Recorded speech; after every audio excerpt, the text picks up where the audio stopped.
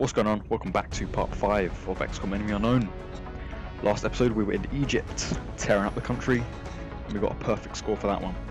So a little update on what has been happening. Let's check out research, what we've been researching. Arc thrower at the moment, I believe yeah, four days to go for that. Which will enable us to start uh, throwing it at the aliens, getting some of their good loot from them. Engineering, New engineers arrived this morning, Commander. new engineers, look at that. We're always glad We could get another medikit, but I don't think we need it yet. And we could get a satellite. Cost 69, but earn 80 credits. So I think we want to save up, save up a few credits before we actually go and purchase another satellite. Soldiers, got a large amount of soldiers left. Um, two dudes just a little bit wounded, but they should be back in no time. So what else? Got a hangar, standard I ship still situation room. Dr. Vahlen expects our troops to try to bring one of those things back here. Yeah, that's using the arc thrower. Much less alive. which is part of our objective capture an alien etc to interrogate the captive alien so here we need to uh, probably go into one of these four countries China, Japan, India or Australia because they do have a high panic level at the moment so we might want to invest in those but if we jump straight into mission control do a bit of scanning um, and we'll see what country we get We're receiving a transmission from the, the, council. the council meeting Coming okay. Okay, so our mission, council mission, target extraction in Australia, alien abduction or attack. So we have the official which we need to escort from Australia. Rewards 230, panic reduction, you recruit, and an assault sergeant. So let's go straight ahead and launch that mission. Excellent. We So choose our squad now. seeing your Mubu, progress. be in support. Edit that. Load out. We want to swap out this frag or medkit. Always good to have one of those on the team. A sad sniper. Want to have her sort of be at the back, just to pick them off. Long being standard support, assault rifle, and Koenig as well. So get straight into the mission. So, being a uh, escort mission, you sort of want to have your dude you're escorting always next to someone so they can provide a little bit of protection or keep them in cover for the duration and then clear all the aliens and then move them up. So we'll see how this one goes. Australia So, has uh, sent a number of requests for assistance. Operation so that's our next drop site. Prince, Prince, Priest. So as usual, we need to locate the VIP and protect the VIP. They usually start next to you, but oh, we have to locate this one. Sometimes they have the asset sort of start next to you, and you've got to escort them. But this one we have to find him and then also prevent it from being killed uh, before we find him. So as usual, we'll play the mission and then commentate over it once it's complete. We are back in Australia this time for an escort mission. Uh, this one involved picking up Peter, PT Van Doorn, some uh, Dutch name, sounds a bit Dutch. We had to pick him up and bring him back to the uh, to the ship, which unfortunately we failed. Um, so I'll show you what I did wrong, what I did right. Well, majority of it was wrong because I failed, but what can you do? So this is Australia, and panic levels did rise to five after this. So the main strategy here was getting our troops up, scouting out, uh, and by scouting we can see where they are um, and see what danger Peter's in. So it wasn't too bad at first. Sniper wanted to keep back so she could pick him off whenever possible. Um, and we sent the standard sort of heavy and assault class up for a little scouting mission, and we get one of those dudes come up um, who does do a bit of damage. He poisons a few of my troops. Um, we set two of the people to Overwatch because they can't really do much just yet, um, and we just want to get them into a better position. Both of them to Overwatch, and then they make their move. He goes for the shot, does poison me, and poison ticks down. I think you take one damage on your turn, and I think you take another bit of damage on the turn after. So I think it does two damage or so overall. So yeah, decide not to fire because 33%, no point in wasting ammo. Um, and then we just keep moving them up closer and closer to the enemy and see what we can do. But there's not much cover available, um, so I'm trying to use all the available cover that I can. And then these dudes want to keep one or two back, just in case there's a backup. Go for the shot, but I do miss. I do miss a lot of times here. That was a 49%. Shouldn't have hit, but maybe I would have got lucky. Um, he misses as well. I think I missed three times. One of them was like a 54% chance as well.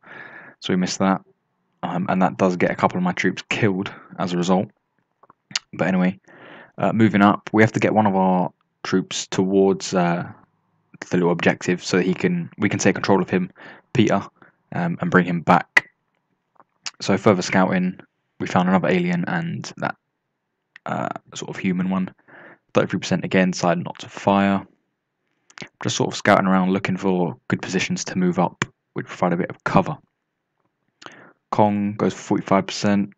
We do miss, unfortunately. And here we just go for Overwatch in case they decide to move up because there's no other option. He overwatches here, so don't want to move him down to the left side too much, as they will be fired upon. And we get another poison from him. And here's Peter getting a bit frustrated now. Wants us to get down there, can't have all the fun, as he says. But anyway, bring him up, dash in. He's not in sight of that alien, so no overwatch. Go 54% here, and again we miss, which was the third miss.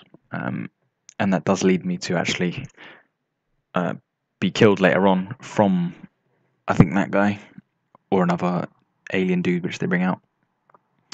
So Assad being sniper sets Overwatch. He goes for the shot and sort of takes me out straight like six damage or whatever. Critical, which was quite unfortunate because we didn't kill him, um, and he killed us. So that was one of them, and then it results, results in a panic. But the panic does pay off um, because when he panicked, he shot and actually killed the thin man, which was quite nice. So now we're free on that side. But here the alien gets that Overwatch, uh, hits me for two damage, not too bad. So we can continue to move him up and pick up the objective and bring him back. So here we're just again moving him up and scouting out. Not too much, pretty standard. He misses there, and this enables us to get within range and pick him up. So all's going well at the moment, although we do have one death, which would bring rating down to good, I believe, or poor. But it's a fail anyway, so it was poor overall.